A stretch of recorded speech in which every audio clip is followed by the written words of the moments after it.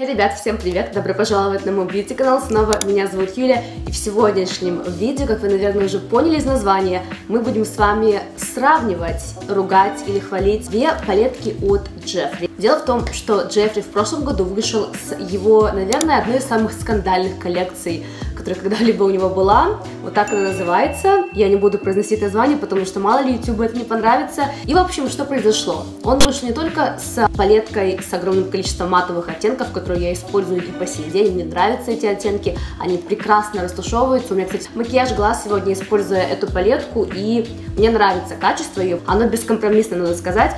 И вместе с матовой палеткой у него вышла добавочная шиммерная палетка, что тоже вызвало очень много разговоров, потому что многие люди не поняли, почему и зачем он вышел с такой маленькой шиммерной, если можно положить было все эти шиммеры в эту палетку. Эта палетка, наверное, одна из самых худших палеток, с которой Джеффри когда-либо выходил.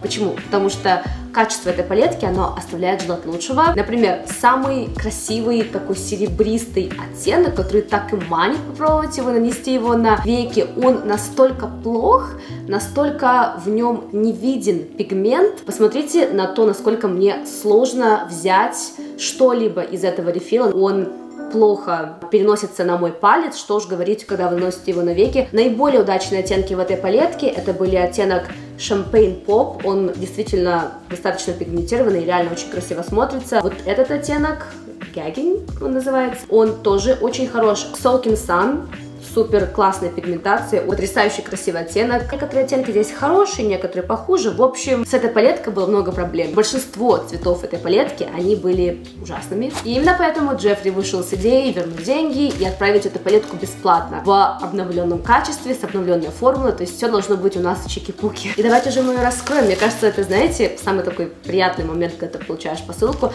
Кстати, насчет упаковки пока еще не разрывала ее. Мне нравится эстетика у Джеффри, мне кажется, никогда не было проблем с тем, как презентовать свой продукт. Это ощущается так, что он думает, как бы сделать так, чтобы его продукт запомнился и был уникальным, начиная даже с упаковки. И, в принципе, что мы видим, а, это обычный дизайн, который был у него в прошлой упаковке, ничего не изменилось. И, кстати говоря, ребята, я чуть не забыла, когда я открыла э, упаковку посылки, я увидела такую карточку, и на этой милой розовой карточке Джеффри пишет, что он гордится тем, что он делает, и что он хочет дать только положительные положительный experience или только самый хороший опыт, когда дело касается косметики. И также, если присутствует какая-либо проблема, мы с радостью сделаем это все правильно. Пожалуйста, вот ваша обновленная палетка. По дизайну эти две палетки абсолютно одинаковые, никакой разницы нет. Сейчас бы главное перепутать их.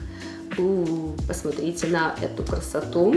Смотрится очень красиво и многообещающе, как мне кажется, это здорово. И сейчас пришло время, конечно же, сравнить эти две палетки. Мне кажется, по первому взгляду, никакой разницы нет между ними, если честно. Все выглядит, в принципе, более-менее одинаково. Однако, когда я сейчас смотрю на свой монитор, мне почему-то кажется, что вот эта палетка, особенно то тот оттенок, который находится в середине, он как будто выглядит чуть более ярче, чем серединный оттенок в этой палетке. Серединный оттенок в этой палетке, он как будто бы более приглушенный, я бы сказала так.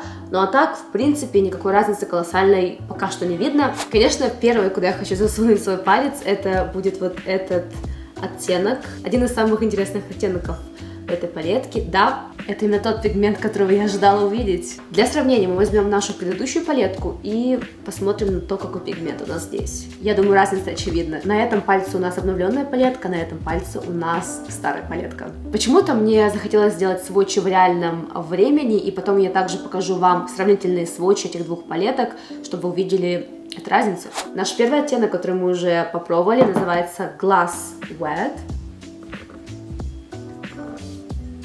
Очень красивый оттенок, очень мягкий. Мне нравится, как он чувствуется у меня на руке. Следующий оттенок не менее манящий для моего вкуса. Называется Champagne Pop.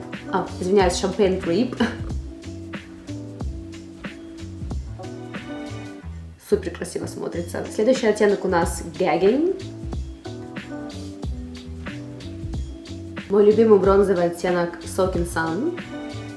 Вот это пигмент. Просто посмотрите на то, как этот оттенок невероятно красиво смотрится, переливается. Да, это, наверное, один из самых пигментированных э, оттенков именно в этой мини-палетке. супер красиво смотрится. Дальше оттенок Frozen Fire. Как будто бы это как дуохром. Нет? Мне кажется. Ну, конечно, он не такой пигментированный, как наш предыдущий оттенок. Это сто процентов. Тоже красиво. Тоже красиво. Следующий оттенок Bath House. У, это, наверное, тоже будет невероятно пигментированным и классным.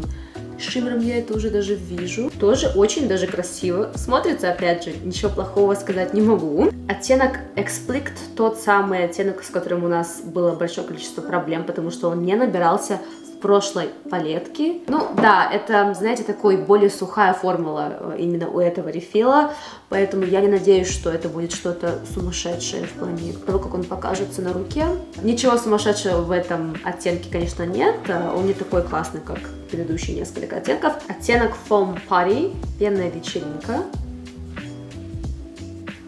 Пока что, как мне кажется, первые два ряда оттенков были наиболее такими уникальными, отличающимися от других формул других брендов. И последний оттенок, который называется у нас Эйфелева башня. Невероятно пигментированный оттенок, это факт.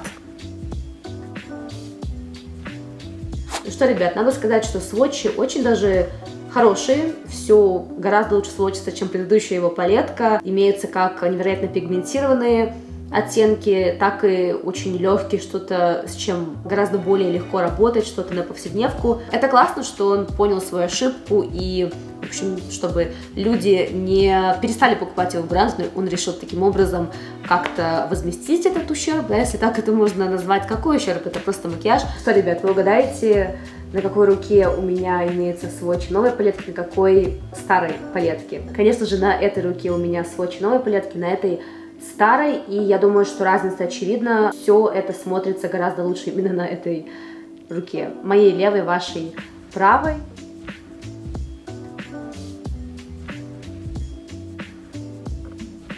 Предлагаю пробовать а, нашу обновленную палетку Джеффри Стара и посмотреть, насколько она хороша. Мне почему-то очень хочется взять оттенок Champagne Drip, невероятно красивый цвет шампанского. Нанести его хочу на середину. Очень красивый цвет, мне кажется, это, знаете, такой идеальный акцент на глазах, на повседневную носку. Я хочу попробовать оттенок Glass Wet, конечно же. Совершенно другое дело. Оттенки просто как масло. Вот это, наверное, правильное описание их.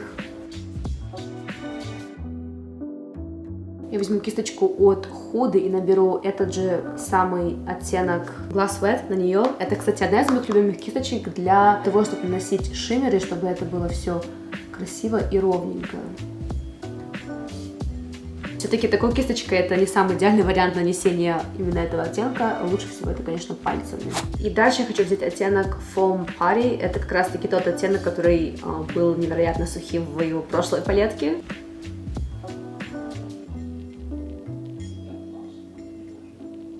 тени невероятно осыпаются, поэтому это нужно иметь в виду. Сначала лучше, конечно, делать макияж глаз, а потом уже тон, потому что эти блестки, они могут вызвать даже как неприятные ощущения на глазах. И сейчас я сделаю реснички, подводку и вернусь к вам уже через секунду. Такой у нас получился макияж, а, вернее, мы просто добавили шиммеров, если честно, на веки с использованием обновленной палетки от Джеффри Стара. Мне нравится, что я вижу.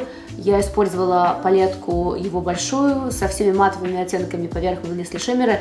И я, если честно, в большом восторге. Мне очень нравится работать с его формулами, с его палетками. Когда я смотрю на эти оттенки, мне хочется творить. Я смотрю, ага, я хочу сегодня использовать там, допустим, такой, такой, такой, такой оттенок. И я знаю, что макияж может получиться либо легким дневным макияжем, либо я могу сделать это таким хорошим, нормальным вечерним макияжем. И при этом я знаю, что мне не потребуется огромного количества времени, усилий и нервов, чтобы создать вот что-то вроде вот такого образа, как сегодня. Поэтому эта палетка, она мне все так же нравится. Мне понравились шиммеры. Я считаю реально, что эти шиммеры делают так, что макияж выглядит как будто бы чуть более дороже, а, наверное, это из-за формулы. Насколько я помню, очень много кто отзывается о формуле шиммеров от Джеффри, что они как бы такие как масляные. Я, в принципе, наверное, соглашусь с этим. С этой палеткой определенно разочарования нет, только положительные эмоции. Единственное, что ты всегда будешь помнить, что у тебя есть эта палетка, и качество у нее было ужасное. Как говорится, первое впечатление нельзя произвести дважды, и, наверное, это не тот случай,